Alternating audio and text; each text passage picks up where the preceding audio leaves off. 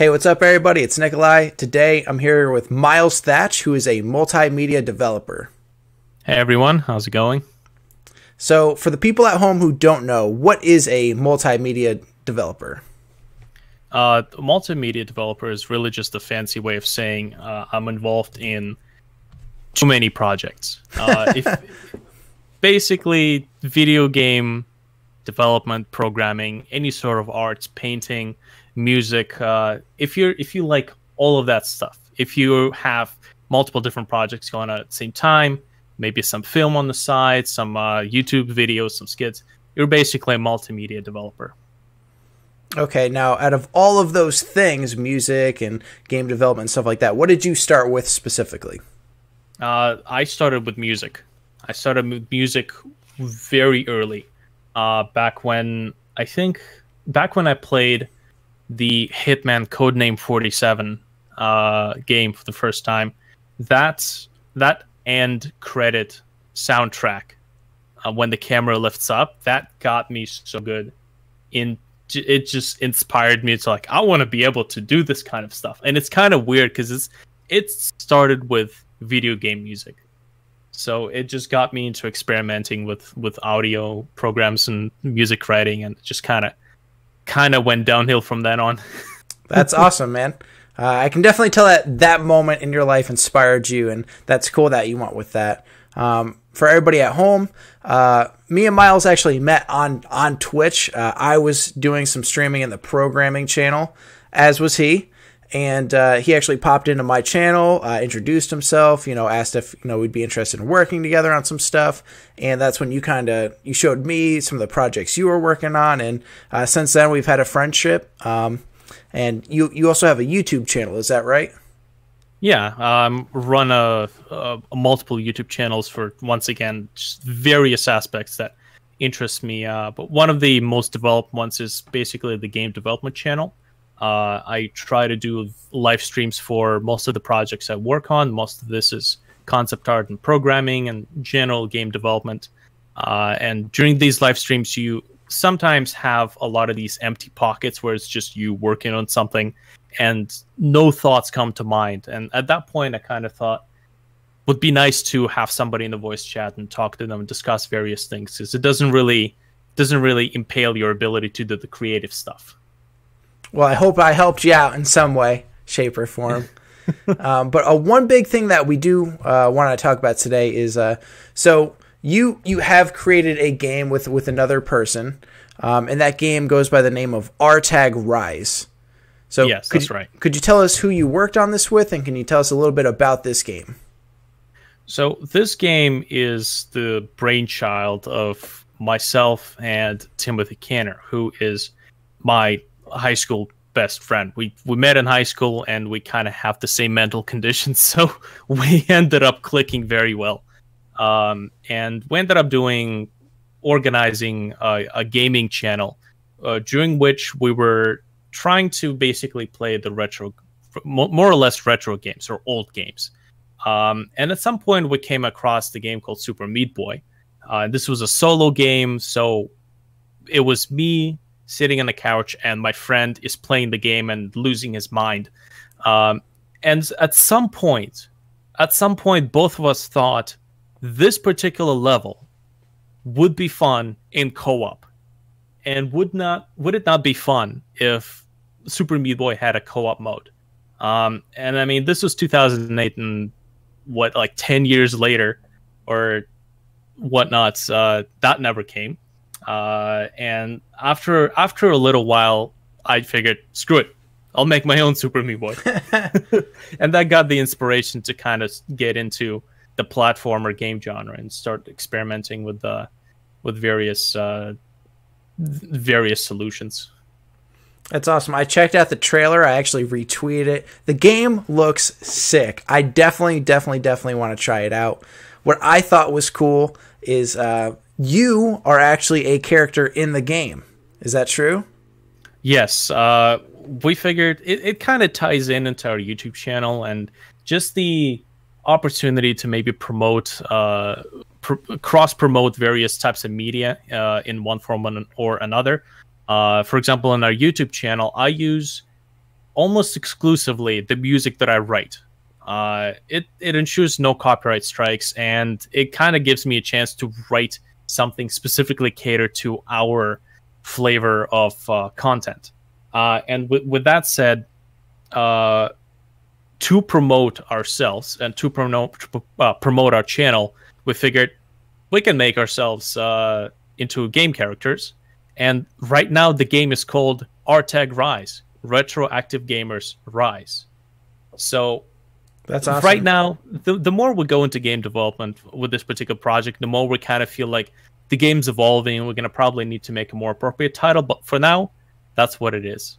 Uh, we play as a one of the pair of main characters that you can play as uh, in this game. Well, if you're watching at home and you want to play with me, dibs on Miles. That's who I'm playing. Uh, you, you, said uh, you you designed the music for the game. I, am interested to know what what type of genre game would would you classify this game as, and what style of music did you personally pick for this game, and why? So usually when you think about game development, the first thing that comes to mind is score music or soundtracks music, uh, which has its own distinct um, mark uh, over anything you listen in the radio or anything you listen on, on Spotify. Uh, soundtracks or scores, um, they have a very atmosphere describing uh, purpose behind them and uh, aesthetic. So a lot of the music on my phone is actually music from video games. Uh, a lot of it is Silent Hill music, and I. That's awesome. It's it it, it just suits uh, it, it suits my taste. Um, but with RTAG Rise, what happens is uh, there's so many ideas that I have for music that um, the solution to what sort of genre I wanted to pick sort of kind of became self-explanatory once we we implemented the whole multi uh, multi protagonist storyline where you follow the stories of multiple different protagonists. Um, this actually gives me the ability to tell multiple different stories uh, based on multiple different genres, and likewise, the music would have to be different for each story. Uh, so for Tim and Milo questline, we can definitely go for more quirky dance EDM style um, drum and bass, uh, while atmospheric areas can always be scores, can always be soundtracks and ambient music. Uh, the other characters would have a bit more of a classical, a bit more of a not not classical as in uh, just orchestras, but classical video game music, so classical scores. Uh, and it gives you a lot of freedom, also based on which quest you're doing and which story you're doing.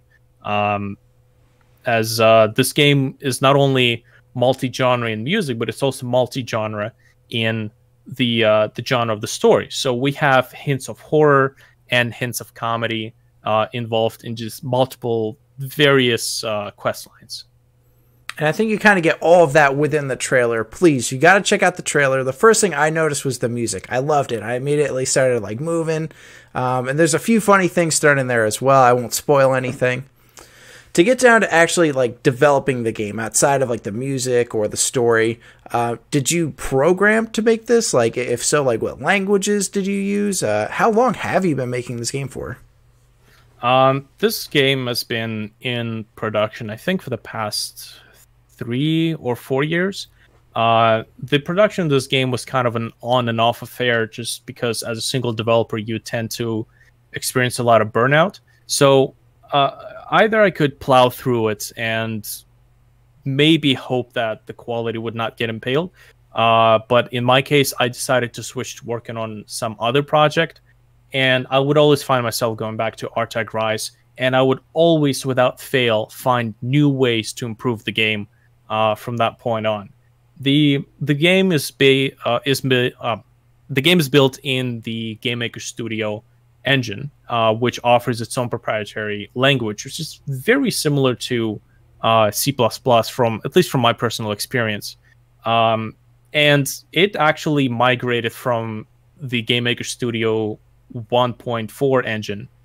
Uh, and back then when it came out, I think the game was started in 1.2, and then it migrated to GameMaker Studio 2 engine. Uh, and the the core of the game pretty much has been rewritten. I think maybe three times, three four times at least. Uh, when I would discover some new aspect, new better way of doing something.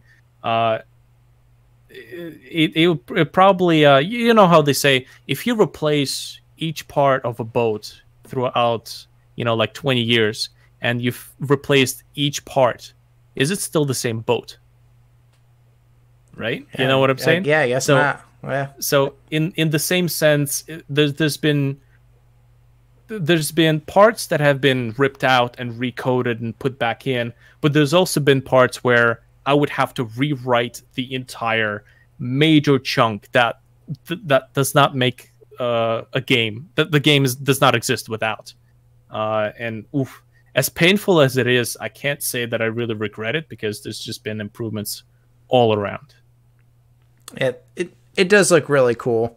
Um, now you said Game Maker Studio, right? Mhm. Is that is that like a free program? Like, let's say somebody's watching this and they maybe want to start making their own game. Is that is that a free program or how exactly did you get that?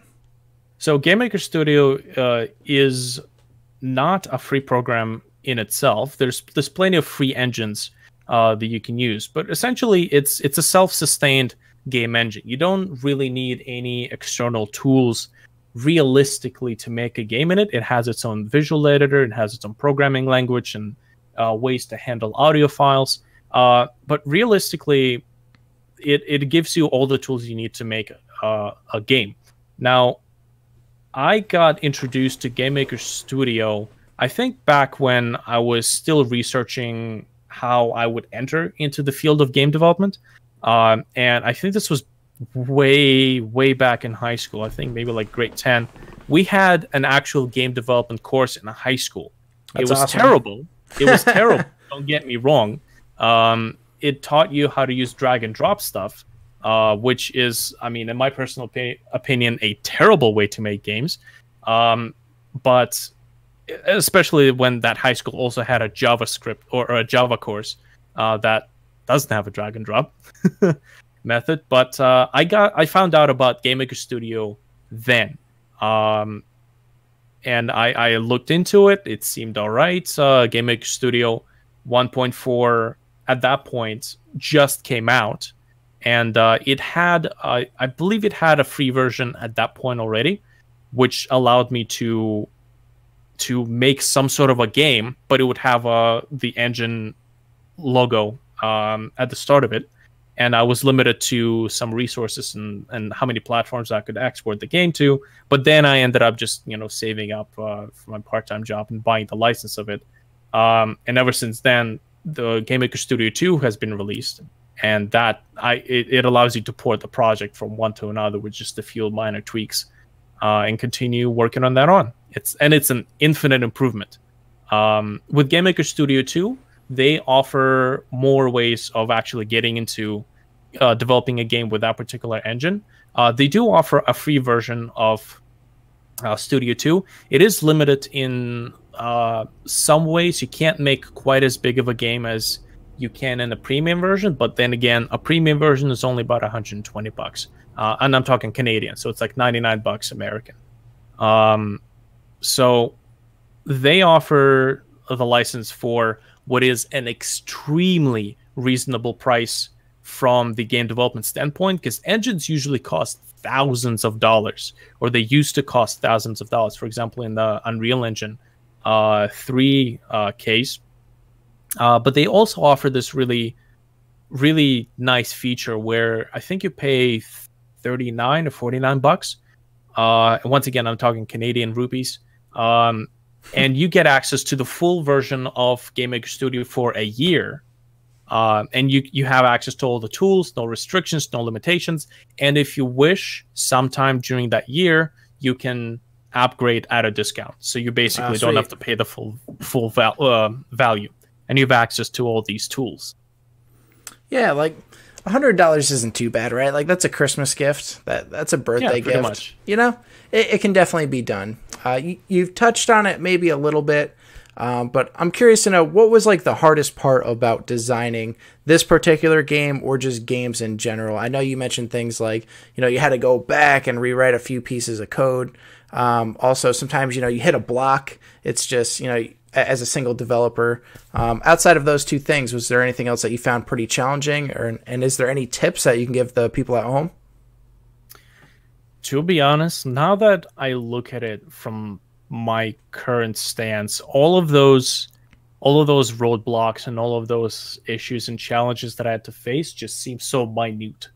Um, it's it's not after you realize how something works when you realize just how simple it is. So it's kind of difficult for me to now in my position to say what exactly would be challenging about building a game or a game like that um, to somebody who just wants to get into game development. Because uh, realistically, your challenge is only the ability to learn something uh, and the persistence to learn something. A lot of a lot of my roadblocks have been cleared by just sheer stubbornness, sitting in front of the code screen, trying things out. Uh, when you know all the help that can help you is probably asleep in some other part of the world. Uh, if you're trying to consult with somebody on the forum, it's just it. Most of the challenges really come from persistence um, and uh, dealing with the biggest issue in indie game development, which is burnout.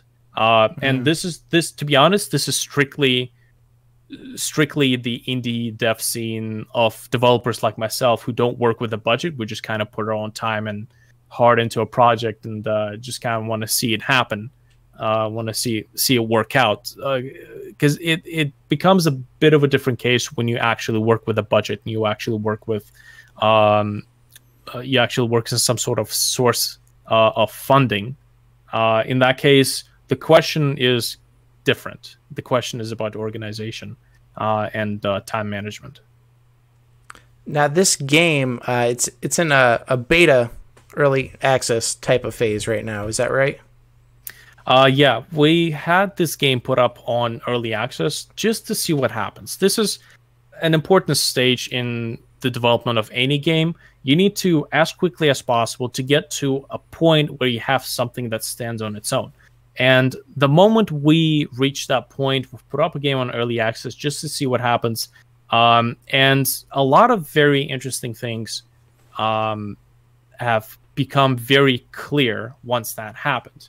Uh, mostly, it, it's the importance of uh, growing an audience uh, and engaging with the people and finding ways to expose your game to an audience and interesting uh, and engaging with the people who are interested in the project.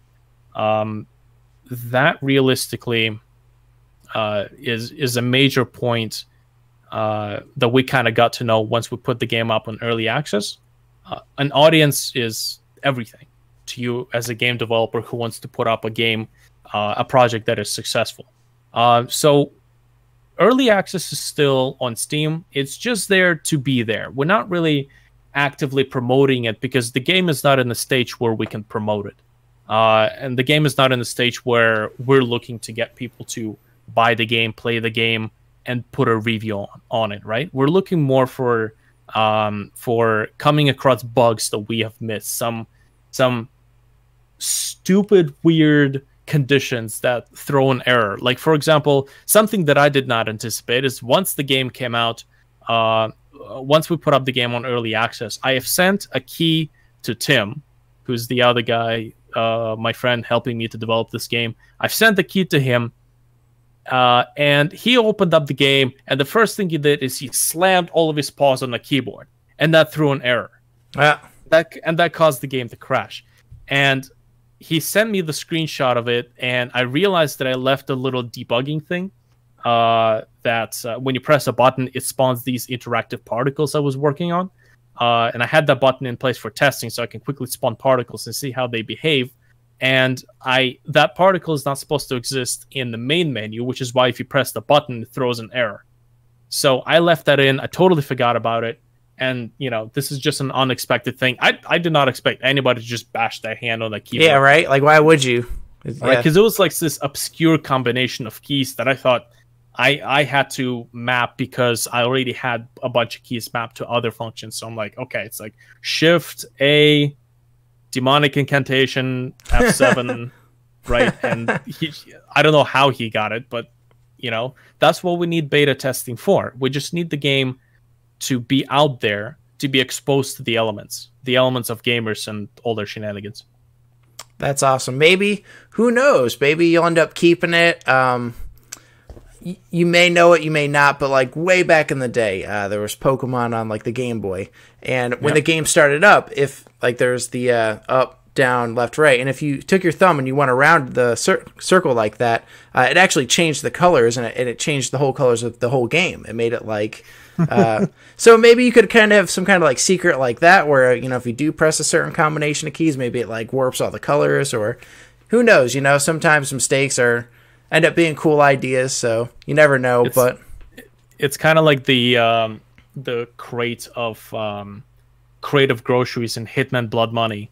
Uh, that in the item description, if you pick up an item, it shows up in your inventory, and you don't usually go to the inventory to look at this particular item too often, or at all. You don't really have reason. It's, your character's already carrying it. But if you go into the inventory and look at the description of this item, it says developer's name. Please add more detail. awesome yeah so And this was this was left in the re-release of the game, and all the games afterwards have a little Easter egg and like the promotional footage that says developer name. I, I forget what his name is. Like, where's that detail we were talking about? that's awesome yeah and you know it could just be this easter egg thing um you know tons of possibilities but that's cool. And you know i'll definitely try my best to you know tinker with it a little bit and, and send you some feedback. How exactly can people send you feedback? Like let's say someone watching right now plays the game and uh, maybe after the start menu they slam their hands on the keyboard. Is there a certain way in game to send you feedback or is this via email? How, how can this be done? Uh, well, the benefit of this particular engine is that uh, it gives you uh, an error screen that pops up whenever there's some sort of a uh, a code syntax error that happens that you have not uh, foreseen. Maybe you have some special exception that uh, only happens when um, you know some obscure condition is met. Yeah. It's not just going to, for the most part, as far as my experience goes, it's not just going to crash the game. It's actually going to give you a white box that tells you where the error occurred and what the error is and gives you the general idea of what it is so um, in terms of bug submissions uh, there isn't a built-in system because once the game crashes it it crashes. So and a within solution is kind of pointless at that point. Um, but uh, the best way to do it is to probably just go to the steam discussion page and uh, we have a little thread for bug reporting. And Oh, just great. just post the screenshot there and we'll have it we'll have a go at it. That's that's the easiest way to do it at this point right at the source where the game is located on steam there's a discussion page and there's a thread for bug reporting you know upload the the uh the screenshot with the error on the uh, image uh, sharing service and just post it there that's probably the easiest thing to do Nice. And always try to be as descriptive as possible. If you can remember what keys you pressed, definitely do that. That will help him out a ton. Uh, details, details, details, please. Um, Alternatively, uh, I do have a Discord server that I'm running as a part of my game development community. Uh, most of the people I talk to uh, about game development, share our project info, kind of are stationed there. So if you post it there, I'll definitely see it, and there's a link to that also in the uh, um, on the discussion page for the Steam uh, Steam game. It just it really depends on what's easier for you. Okay, and in the description, um, I will have a link to your YouTube channel. Uh, I will have a link to your Discord as well. And uh, is there any other specific link that I should include uh, as far as like the open access goes, the beta access? Um, ooh, so many links, too many links. Um, the, what I can do, what I can do is set up a small page on the website, and I can give that link to you. Sounds so this good. will be the studio's website and the page for this particular project. And uh, what it's going to have is it's just going to have an emailing list. You just put in your email, click submit, and I'll be sending the keys to all of those, uh, to all of the emails in that particular mailing list. I think that makes it the easiest. Yeah, I think that's a good idea. Now, uh, with the uh, with the beta keys, what I can do is I can also send you some keys. So if you ever feel like you can, if you're ever talking to someone who might be actually interested in this sort of thing, again, the further we can spread this, the better. At this point, it's all about just engagement and kind of throwing this game under the weather. Okay, great. So if you're watching, leave a comment. I may have like a pinned comment down below and it just says, you know, who wants to play. You can always just say me and I will try to get uh, you a beta key. And from there, you can test it out. And please definitely send feedback over to him. Uh, and that way they can get the game, you know, to its optimal state. And then, you know, they can keep moving forward and ultimately get it officially released. So That out- works best. outside of Steam, do you have any other, I guess, places that the game could potentially be released? Like, is there any? Let's say there's somebody at home right now. Um, there, there's a guy called DeathKnight who uh, follows um, my YouTube, and he's a diehard console player. Uh, he doesn't technically have a computer though. Is there any chance to get this game on console? Maybe in in the far future. Uh, that is always a possibility, and especially with the way the game is, or what the game is, and uh, it it's a pretty good chance that uh, we're going to be putting it on console. Uh, the only limita- limitation at this point is just getting access to the tools that allow you to put it up on on a console, because we don't have a terribly controversial game. Um, so there shouldn't be, from what I understand, any sort of licensing or uh, allotment issues for putting up a game on on the PlayStation Store or the Xbox Store. Um, it really just a matter of getting the specific like subscription uh, subscription extension from our uh, from the manufacturers of our engine or the, the developers of our engine because they actually have the export extensions for PlayStation 4. They just Oh, got sweet. one for the Switch, uh, for Xbox One, and there's this a whole bunch of others, um, including mobile extensions too. So it just takes um, it's just gonna take a little bit of uh, financial success to actually acquire those, and after that, it, the controls are pretty much the same. We already have uh, controller support for um, for the desktop game. In oh, fact, that's it is- awesome. it is highly advised that the, the players play with the controller. Uh, and it supports up to four controllers on the same machine, so it's a four player co op on one machine. Kind of works out, right? So That's sick. we we don't really see any sort of immediate block in our way uh, that we need to surpass to put up a game on on a console. In your opinion, is there a certain controller that you like to use? Xbox, maybe uh, Super Nintendo, uh, PlayStation. Well, I I did not grow up with uh, consoles. Uh, I grew up with PC gaming. Uh, I only got a console when I was, I think, in like grade eleven in high school, and I finally got a part-time job, and I got myself an Xbox 360. So that is the console that I kind of grew up with. I don't have a sort sort of like attachment to it or any sort of um, sentimental value attached to it. Uh, it it is it is what I had around. So I guess I got used to the what you're Xbox accustomed controller. to? Yeah. Yeah, th- this is what I got accustomed to.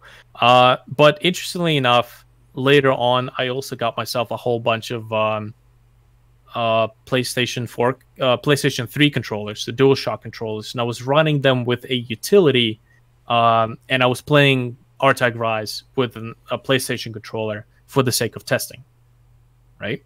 Uh, so either or do- does the job just fine. Awesome. Well, man, I, I greatly appreciate you taking some time and chatting with me. Uh, Likewise. is there anybody that you'd like to give a shout out to that maybe helped you along the way? Maybe your partner in crime who helped you make the game, or anybody else? Yeah, the the first shout out for sure is Timothy Canner. He's the other part. He's the other brainchild behind this prob uh, program, uh, behind this project, and he is pretty much responsible for half of the levels that are currently in the game. Um, another guy that I want to give a shout out is Arya, who is another one of my of our friends. He's also been helping me out to make some levels. Uh, and his it, it's funny because he got on the project because he complained that the levels are way too difficult. Um, he has never played our game before, and when we invited him over to try to play the game with us uh, in co-op mode, he was the only one lacking behind because Tim and I are so accustomed to the controls. We are the builders of this game, so we know all the nooks and crannies, and Yeah. we know how to how to traverse the levels. So it was great experience to have somebody who has not been involved in the development of the game to actually try it out. So Arya was complaining that the game is too difficult. He he couldn't even get past the tutorial levels. We thought, oh, it's tutorial. No, th- these are so simple, but he couldn't he couldn't get accustomed to the uh, or he couldn't get past the tutorial levels.